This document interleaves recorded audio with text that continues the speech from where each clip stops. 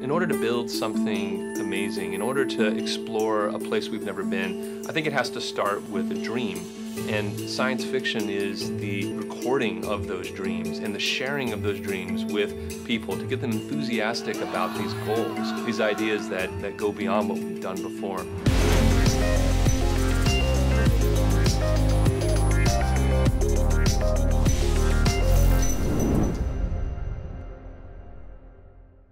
My name is Jeff Norris, and I work at the NASA Jet Propulsion Laboratory, where I lead mission operations innovation.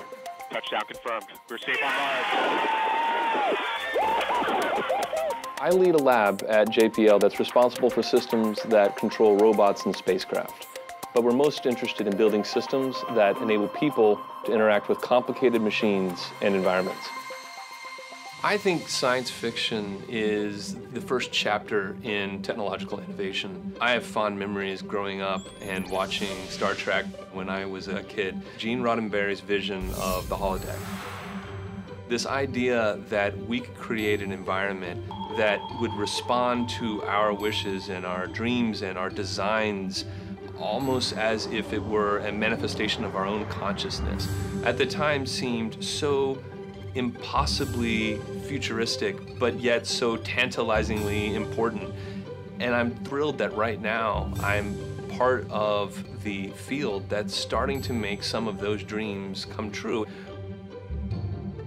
I feel that we've benefited from the inspiration that Star Trek provided, and we're also surpassing some of the dreams that those early innovators had.